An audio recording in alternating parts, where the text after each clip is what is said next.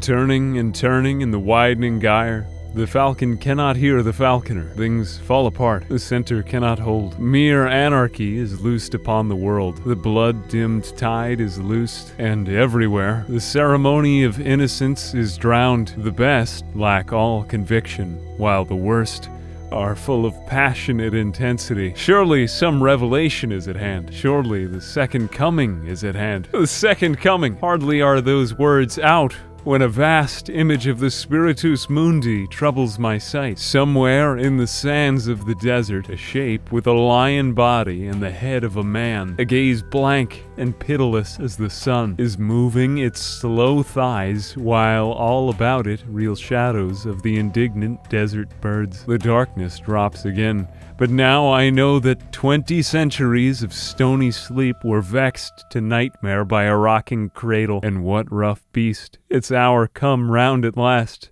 slouches towards Bethlehem to be born. Ah, Theophilus, ah, Gerald Williams, how you remind me of what I aspired to become. Once, in my youth, had I rid myself of quirks, I would have been as you. Had I aspired to the good, it would have been as you. Before you lies the truth. May you thrive. May you contend. And until we pass into the nether realm, wrapped in shadows and despair, bereft of our earthly forms, until then may the road rise to meet you, and until we meet again, may God hold you in the palm of his hand all the days of your life. The only way is forward. Who needs the doors when we could simply break on through? Welcome back to Project Zomboid. I have been building castles in the sky. I'm just about sick of this zombie mess. I have a better idea. I have a foolproof plan that will set me apart from all the rest. Something so foolproof that it can't fail. Something that I had heretofore never even conceived. If entropy is the status quo in our universe, then let's not trifle with needless complexity. And in those words made so famous by Johnny Cash, I fell into a ring of fire. Well, that was anticlimactic.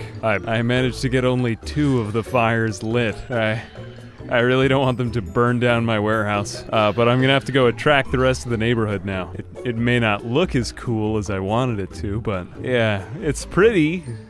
It'll probably keep it bright out tonight. It may not make any sense in terms of structural integrity, but it's mine. All right, let's just call out the rest of the neighborhood. Uh, yep, all of you. Don't you love how they do that thing where they look over their shoulder? Yeah, I love that. All right, now all we have to do is get the rest of the neighborhood over here. And then just do this. All right, let's watch it happen. Come on, let's go.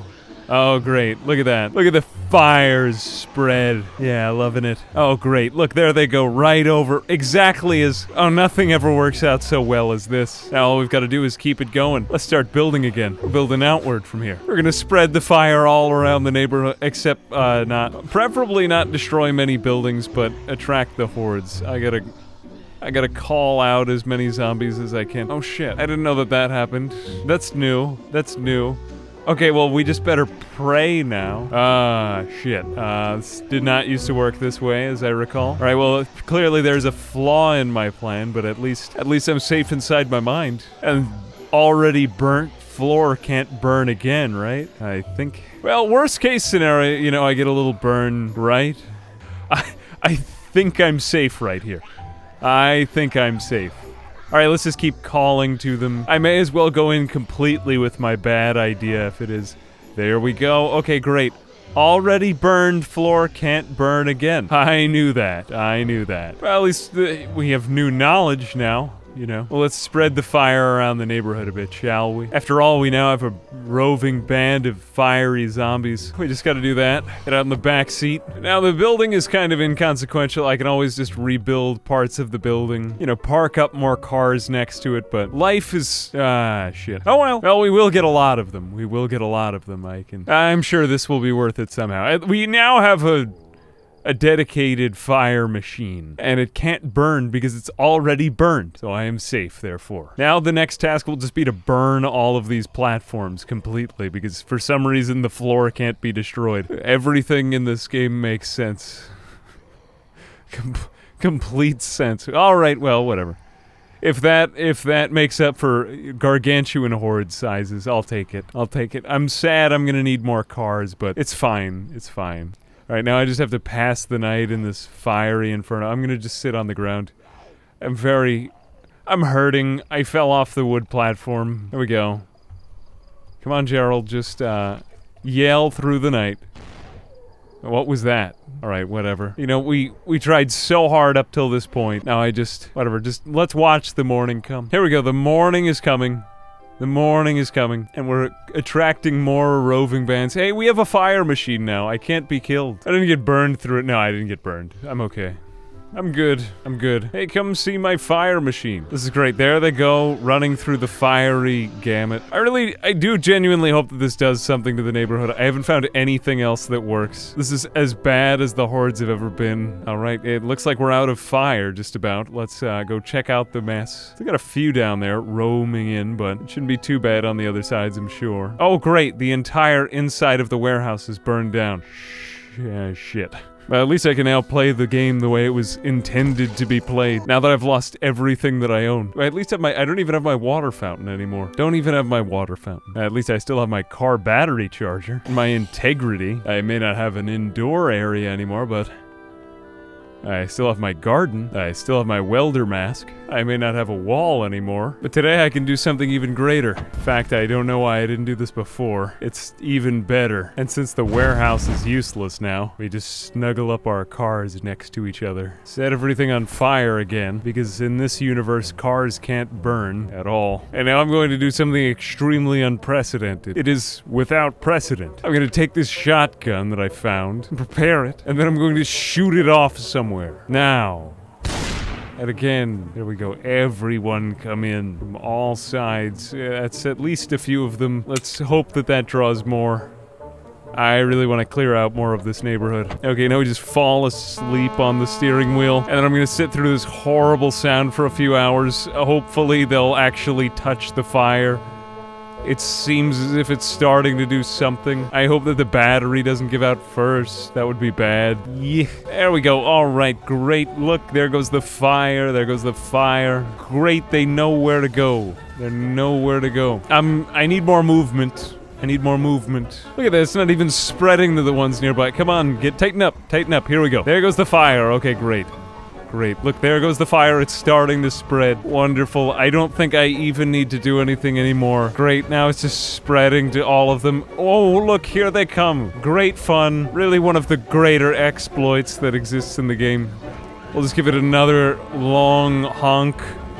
They're one of my favorite vehicles in which to survive this. Obviously, since cars are immovable objects, when an unstoppable force meets an immovable object, you know what happens. Clearly, everyone. It's a great conflagration. A great conflagration we're experiencing right now. It's getting extremely loud in my headphones, though, so I'm gonna start to turn it down. Look, there goes one crawling. He really wants to get some. It's like Soylent Green is in my truck or something. Great, come get the Soylent Green. Yes, just everyone in the entire neighborhood of Muldraugh. Come on, can we fill the screen? Great. Look, they aren't even rendering anymore. They just look like shadows. Oh, that's so that's so poetically beautiful. Look, they don't even render anymore. There's just so many on the screen. Again, I'll say this is the experimental build. That is kind of freaky though. Look, there they come. God, it's like the grudge or something. They're wonderful, wonderful. I wonder what sorts of things they'll have on them. Good. All right, well now I'm getting bored. It's it's just a bunch of shades coming in from all sides. Really a beautiful ending. I hope to see no more zombies in Muldraugh. I'll be using this strategy for the rest of the neighborhood as I don't think. Look, it's wonderful. It's like a Photoshop drop filter gone wrong. Look, the fire is emitting such strange, wonderful patterns naturally more want to join in. There they come. I like how they're slowly rendered in as they get closer. Amazing, amazing. Look, there's one with a visor, a cowboy hat. Such wonderful accoutrements they have. It still seems to be attracting more even without my intending it, so I think I'm gonna give honking a break. Uh, at least for the next few hours until night falls.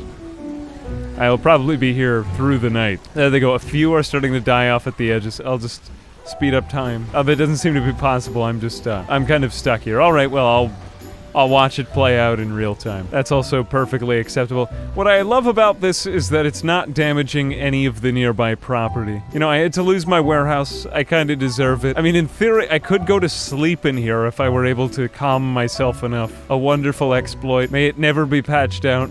I wonder if you could just get food this way, you know? Uh, like, if some of them have bags of chips and water bottles on them. In theory, you could just do this for a living. I eagerly await to see what lies outside of my car.